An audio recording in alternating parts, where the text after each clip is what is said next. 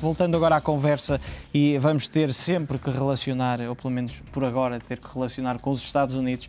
Tem-se falado muito de uma um confronto, é, se calhar é uma palavra muito forte, entre Estados Unidos e Europa nesta luta dos ratings, mas também vem sempre, naturalmente, ou ganha sempre importância a dualidade entre euro e dólar. Como é que se vão comportar as, estas uh, divisas uh, no, num futuro próximo? Quem é que vai, trocando por palavras mais simples, levar a melhor? Um, eu estou pessimista para o euro. em geral, já o estou há, há algum tempo. Um, eu, eu acho que este ano, uh, e continuo, uh, aliás, tivemos no final do ano passado, ou no início deste ano, já não me recordo muito bem, uh, falar sobre, sobre, sobre o euro-dólar e qual é que seria o comportamento do euro-dólar. E eu mantenho mais ou menos a minha opinião relativamente ao euro-dólar.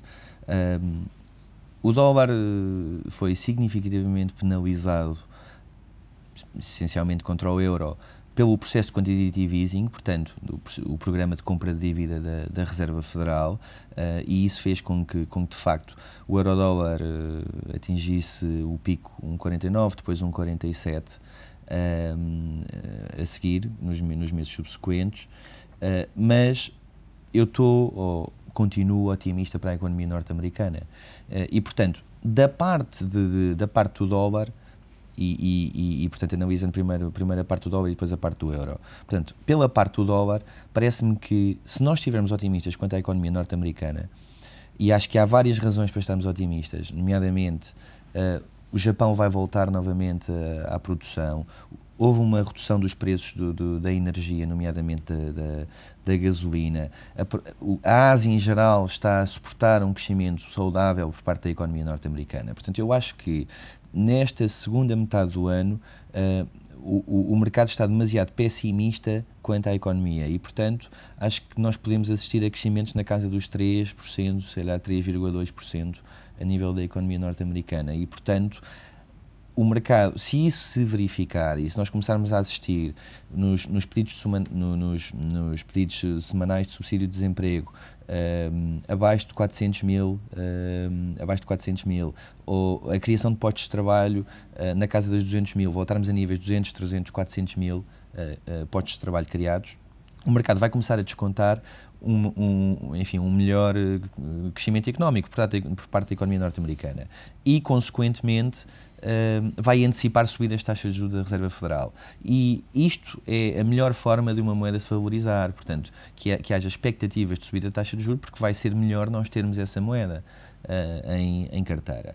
Uh, e, portanto, acho que o dólar vai, uh, é capaz de recuperar e tem condições para recuperar. Mas isso é porque eu acredito que a economia norte-americana vai, vai, vai ter uma boa segunda metade do ano. Se nós não acreditarmos nisso, e acredito que toda, todas estas medidas da, da, Reserva Federal vão surtir efeito, se nós não acreditarmos nisso, enfim, então este cenário deixa, deixa de ter valor. Eu, de facto, acho que é isso que vai acontecer.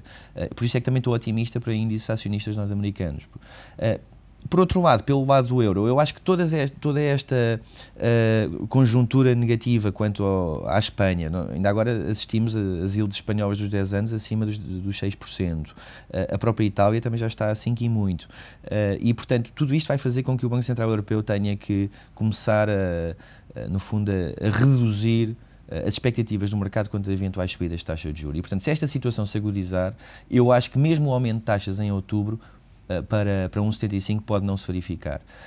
Uh, e, e, e, portanto, dá-me a ideia que, de alguma forma, uh, o euro vai estar pressionado uh, por causa disso, por toda esta dinâmica da Espanha e Itália, toma-se decisão, não se toma, qual é que é a decisão, o mercado relativamente à solução para a Grécia, segundo bailout, enfim, tudo isto é uma dinâmica bastante complicada para, para o euro e, portanto, acredito que o euro vai, vai estar pressionado.